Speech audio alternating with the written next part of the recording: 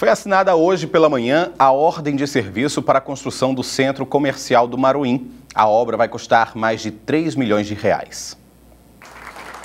A solenidade ocorreu no Salão Nobre da Prefeitura de Natal e contou com a presença de vereadores, secretários de pastas, representantes do comércio do Maruim e do senador José Agripino.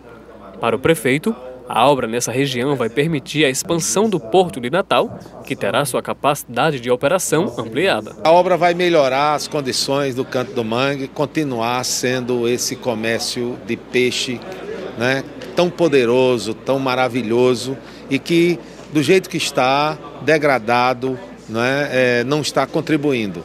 Então vai ser uma área revitalizada da cidade de Natal, uma área tradicional da cidade de Natal e, a, e dessa vez vai potencializar mais ainda as oportunidades para os natalenses e turistas que querem ir para um lugar bonito como é o Canto do Mangue. De acordo com a prefeitura, o novo centro comercial vai ter quiosques, banheiros públicos e estacionamento. Isso tudo numa área de 7 mil metros quadrados. A obra custará cerca de 3,7 milhões de reais sendo 2,9 milhões vindo da União, com contrapartida de 800 mil da Prefeitura.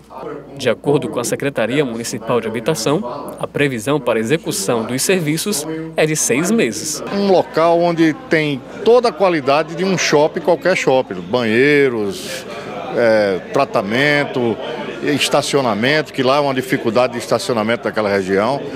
E a linha é importante, porque estamos preservando os próprios comerciantes na área, o pessoal da, da, do Maruim que foram deslocados para o, o residencial São Pedro, que é próximo, continua trabalhando lá.